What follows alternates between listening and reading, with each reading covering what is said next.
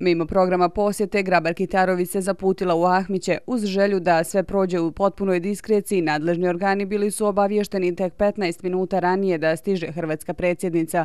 Ona se poklonila žrtvama i položila buket cvijeća na spomen obilježe za 116 ubijenih bošnjaka, među kojima 33 žene i djece. Da, posjetila sam Ahmiće i Križančevo selo. Vjerujem da ste već primijetili da na takva mjesta pijeteta volimo odlaziti u tišini jednostavno dati, dakle, pokloniti se žrtvama, eh, razmišljati o prošlosti, ali prije svega s nakanom da se ta prošlost nikada ne ponovi i gledati u budućnost. U budućnost eh, dobrih odnosa ne samo između Hrvata i Bošnjaka, već i svih naroda i svih građana ovdje, ne samo u središnjoj Bosni, već i u Bosni i Hercegovini. Tokom prvog dana posjete Grabar Kitarović se susrela sa predstavnicama udruženja Majke Enklava, Srebrenica i Žepa, a izjava predsjednice udruženja na pitanje da li su razgovarale o Ahmićima izazvala je burne reakcije.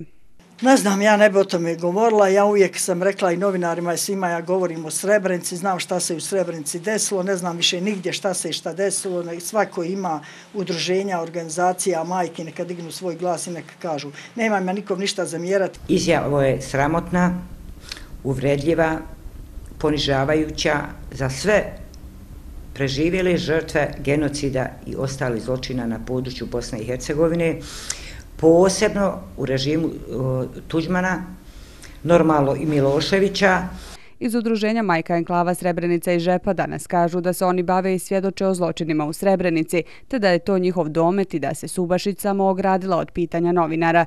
Indikativno je da to pitanje nije postavljeno samoj predsjednici Hrvatske tokom boravka u Sarajevu. A poruka koju je ona danas poslala iz Srednje Bosne je da je pred Bosnom i Hercegovinom dugi naporan put integriranja u Evropsku uniju, koji u konačnici, nakon reformi koje mogu biti i bolne, donosi brojne prednosti stanovništvu. E, tu je Hrvatska apsolutno spremna pomoći. Ja mislim da je ulazak Bosne i Hercegovine u članstvo Europske unije zapravo uh, jedan uh, od onih čimbenika koji će pridonijeti ostanku Hrvata uh, i njihovom opstanku ovdje u Bosni i Hercegovini.